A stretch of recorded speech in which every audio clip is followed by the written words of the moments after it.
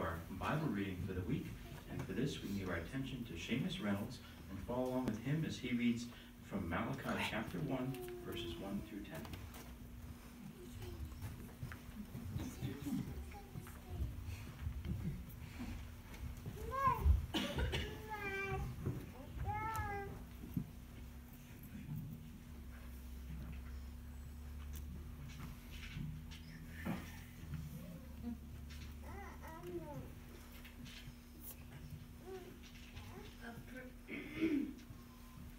A pronouncement.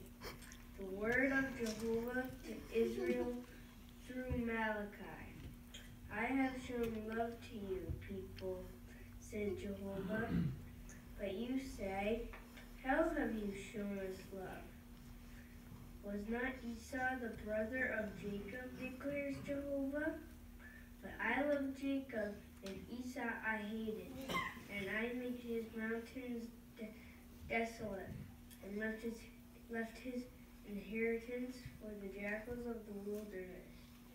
Though Edom says, We have been shattered, but we will return and rebuild the ruins. This is what the Jehovah army says.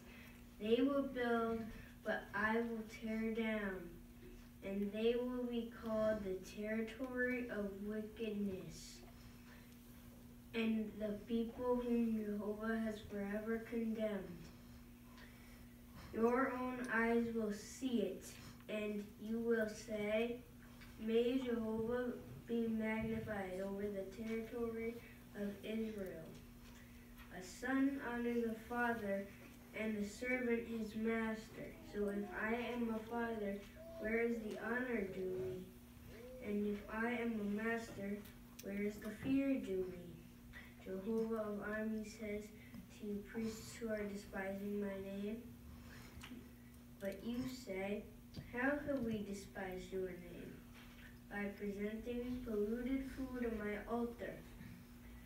And you say, How have we polluted you? By saying the table of Jehovah is something to be despised.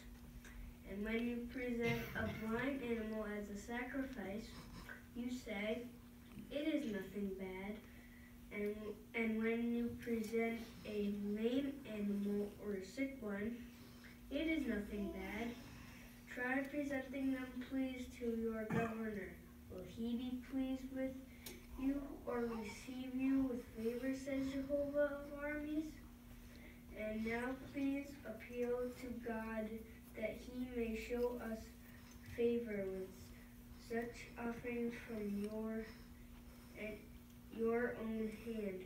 Will he receive any of you with favor, says Jehovah of armies? And who among you is willing to shut the doors? For you will not even light my altar without charge. I find no delight in you, says Jehovah of armies, and I take no pleasure and any gift offering from your hand.